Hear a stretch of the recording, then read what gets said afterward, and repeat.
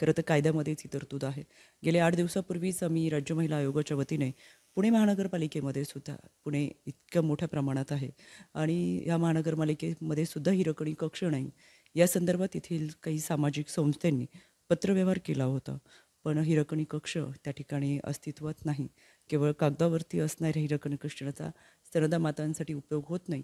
आणि काल आपण सगळ्यांनी पाहिलं आहे एक लोकप्रतिनिधी म्हणून ज्यावेळेस आमदार सुरोषताई ह्या या बाळाला घेऊन विधानभवनामध्ये आल्या तेव्हा बाळाला त्यांना ठेवण्यासाठीही हिरकणी मिळाला पण तो सुस्थितीत नव्हता.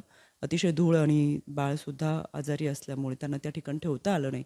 एक आईची ही व्यथा आहे. महाराष्ट्रामध्ये खरं तर महिलांच्या सुरक्षितेसाठी नोकरदार स्त्रियांना काम करत असताना मिळणारी सुरक्षा आणि त्याचबरोबर स्तंदा मातांना सुद्धा कामावरती एक सुरक्षिता वाटावी आपल्या बाळाला बरोबर घेऊन येताना सुद्धा त्या ठिकाणी त्यांना निश्चितपणाने मनाला समाधान वाटावं. यासाठी हा हिरकणी कक्ष आहे.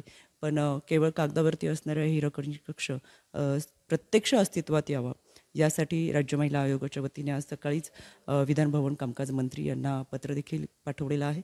आणि गेल्या आठ दिवसापासूनही आम्ही पाठपुरावा करतोय. पण कालच्या उघाणी ही गोष्ट आपल्या सगळ्यांसमोर आलेली आहे.